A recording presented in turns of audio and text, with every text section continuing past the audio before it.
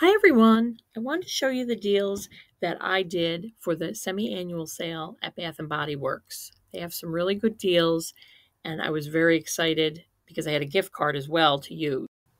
They had a lot of different items to choose from. $2.99 items, wallflowers. I never used the wallflowers, but I got a lot of hand soaps.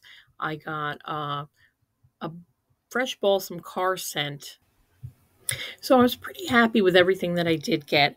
And leave me a comment down below and let me know if you shopped the sale at all and what you got. I'd be interested to see.